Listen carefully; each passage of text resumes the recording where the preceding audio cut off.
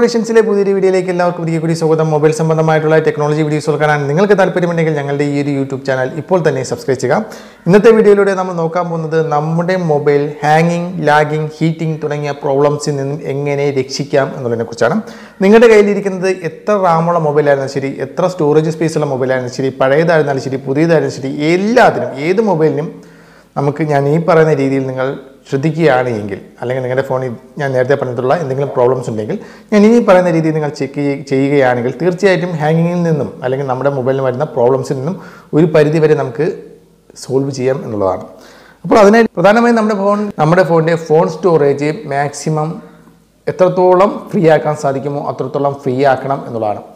ഞാൻ നേരത്തെ വീഡിയോയിൽ പറഞ്ഞിരുന്നത് പോലെ തന്നെ ഒരു എൺപത് ശതമാനം താഴെ മാത്രമേ നിങ്ങളുടെ ഫോൺ സ്റ്റോറേജ് ഫുള്ളാകാവൂ അങ്ങനെ അതിൽ കൂടുതൽ നിങ്ങൾ ഫുള്ളായിട്ടുണ്ടെങ്കിൽ നമുക്ക് ആവശ്യമില്ലാത്ത ഫയലുകളെല്ലാം തന്നെ ഡിലീറ്റ് ചെയ്യുക അങ്ങനെ കുറച്ച് കാര്യങ്ങൾ ചെയ്യുക നമ്മുടെ ഫോണിന്റെ ഫോൺ സ്റ്റോറേജ് മാക്സിമം ഫ്രീ ആക്കാൻ എങ്ങനെ സാധിക്കും? അതായത് ആപ്ലിക്കേഷൻ ഒന്നും തന്നെ അൺഇൻസ്റ്റാൾ ചെയ്യാതെ എങ്ങനെ കൂടുതൽ ഫ്രീ സ്പേസ് കിട്ടും? അതിനെക്കുറിച്ചുള്ള വീഡിയോ ഓൾറെഡി ഞാൻ നിങ്ങളോട് പറഞ്ഞു തന്നിട്ടുള്ളതാണ്. ആ ഒരു വീഡിയോ കണ്ടിട്ടില്ലാത്തവർ അതിന്റെ ലിങ്ക് ഈ വീഡിയോ ഡിസ്ക്രിപ്ഷൻ ഉണ്ട് നിങ്ങൾ ആ ഒരു വീഡിയോ കാണാവുന്നതാണ്.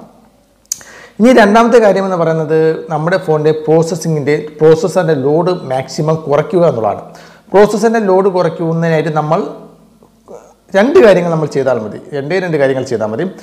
അപ്പോൾ അതിനായിട്ട് നമ്മൾ ആദ്യം ചെയ്യേണ്ടതെന്ന് പറയുന്നത് നമ്മുടെ ഫോണിന്റെ സെറ്റിങ്സിൽ ഡെവലപ്പർ ഓപ്ഷൻ നമ്മൾ എനേബിൾ ചെയ്തെടുക്കുക എന്നുള്ളതാണ്. ഞാൻ എനേബിൾ ചെയ്തെടുക്കുക എന്ന് പറയുന്നതിന്റെ കാരണം എന്ന് പറയുന്നത് നമ്മുടെ ഫോണിൽ പോയി സെറ്റിങ്സിൽ പോയി കഴിഞ്ഞാൽ ഡെവലപ്പർ ഓപ്ഷൻ അവിടെ കാണുകയില്ല. കാരണം ഡെവലപ്പർ ഓപ്ഷൻ എന്ന് പറയുന്ന ഫീച്ചർ എപ്പോഴും നമ്മുടെ ഫോണിൽ ഹിഡൻ ആയിട്ടായിരിക്കും കാണുക. അപ്പോൾ അത് ആദ്യം നമ്മൾ എനേബിൾ ചെയ്യാം എങ്ങനെ എനേബിൾ ചെയ്യാൻ എനേബിൾ ചെയ്യാം? നമ്മുടെ ഫോണിന്റെ സെറ്റിങ്സ് എടുത്ത ശേഷം സെറ്റിങ്സിൽ താഴെ പോകുമ്പോഴത്തേക്കും അബൌട്ട് ഫോൺ എന്ന് പറഞ്ഞ ഒരു ഓപ്ഷൻ കാണാൻ സാധിക്കും. അതിൽ ക്ലിക്ക് ചെയ്യുമ്പോഴത്തേക്കും അവിടെ സോഫ്റ്റ്വെയർ ഇൻഫർമേഷൻസ് എന്ന് പറയുന്ന ഒരു ഓപ്ഷൻ കാണാൻ സാധിക്കും. അതിൽ ക്ലിക്ക് ചെയ്യുമ്പോഴത്തേക്കും അവിടെ ബിൽഡ് നമ്പർ എന്ന് പറയുന്ന ഒരു ഓപ്ഷൻ കാണാൻ സാധിക്കും. അതിൽ നിങ്ങൾ ഏഴെട്ട് പ്രാവശ്യം അടുപ്പിച്ചടുപ്പിച്ച് ക്ലിക്ക് ചെയ്താൽ നിങ്ങൾക്ക് തിരിച്ച് സെറ്റിങ്സിൽ പോകുമ്പോഴത്തേക്കും എബോട്ട് ഫോണിന്റെ മുകളിലോ താഴെയോ ആയിട്ട് നിങ്ങൾക്ക് ഡെവലപ്പർ ഓപ്ഷൻ എന്ന് പറഞ്ഞ ഓപ്ഷൻ വന്നിരിക്കുന്നതായിട്ട് കാണാൻ സാധിക്കും. ഇപ്പം ഇനി നിങ്ങൾ ഡെവലപ്പർ ഓപ്ഷനിൽ പോയിട്ട് നിങ്ങൾ എന്താണ് ചെയ്യേണ്ടതെന്ന് ചോദിക്കുകയാണെങ്കിൽ നിങ്ങൾ അതിൽ രണ്ട് കാര്യങ്ങൾ നിങ്ങൾ തീർച്ചയായിട്ടും ചെയ്തിരിക്കുക. അതിൽ ഒന്നാമത്തെ കാര്യം എന്ന് പറയുന്നത് ഡെവലപ്പർ ഓപ്ഷനിൽ പോയിട്ട് നിങ്ങൾ താഴോട്ട് പോകുമ്പോഴത്തേക്കും അവിടെ മൂന്ന് ആനിമേഷൻ സ്കെയിലുകൾ കാണാൻ സാധിക്കും. അതായത് windows animation scale transmission animation scale അതുപോലെ തന്നെ ആനിമേഷൻ ഡ്യൂറേഷൻ സ്കെയിൽ ഇത് ചിലപ്പോൾ നിങ്ങളുടെ വൺ വൺ എക്സിലോ അല്ലെങ്കിൽ ടു എക്സിലൊക്കെ ആയിരിക്കും നിങ്ങളുടെ ഫോണിൽ കാണുക. നിങ്ങളത് മാക്സിമം എത്രത്തോളം കുറയ്ക്കാൻ സാധിക്കുമോ അത്രത്തോളം കുറയ്ക്കുക എന്നുള്ളതാണ്.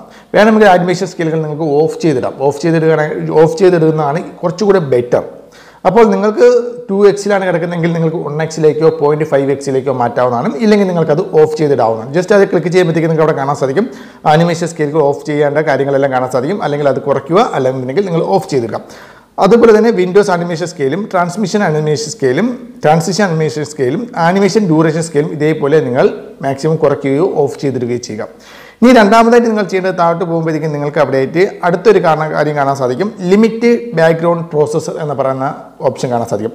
അത് നിങ്ങളുടെ സ്റ്റാൻഡേർഡ് ലിമിറ്റ് എന്ന് പറയുന്ന ഓപ്ഷനിലായിരിക്കും കാണുന്നത്. ജസ്റ്റ് നിങ്ങൾ അതിൽ ക്ലിക്ക് ചെയ്തിട്ട് അറ്റ്മോസ്റ്റ് ഫോർ പ്രോസസ്സർ ഏറ്റവും താഴെയായിട്ട് അറ്റ്മോസ്റ്റ് ഫോർ പ്രോസസ്സർ എന്ന് പറയുന്ന ഒരു ഓപ്ഷൻ കാണാൻ സാധിക്കും. ജസ്റ്റ് അതിൽ ക്ലിക്ക് ചെയ്യുകയാണ് വേണ്ടത്. അപ്പോൾ ഈ കാര്യങ്ങൾ നിങ്ങൾ പ്രത്യേകം ശ്രദ്ധിക്കുക. സ്റ്റോറേജ് മാക്സിമം ഫ്രീ ആക്കാൻ ശ്രമിക്കുക. ഫോൺ സ്റ്റോറേജ് ഫ്രീ ആക്കാൻ ശ്രമിക്കുക. രണ്ടാമത് അഡ്മിഷൻ സ്കീലുകളെല്ലാം കുറച്ച് വയ്ക്കുക. പറ്റുമെങ്കിൽ ഓഫ് ചെയ്തിടുക. മൂന്നാമത് background processing limit at most four മാത്രം നാല് മാത്രം നിങ്ങൾ സെറ്റ് ചെയ്ത് വെക്കുക എന്നുള്ളതാണ്.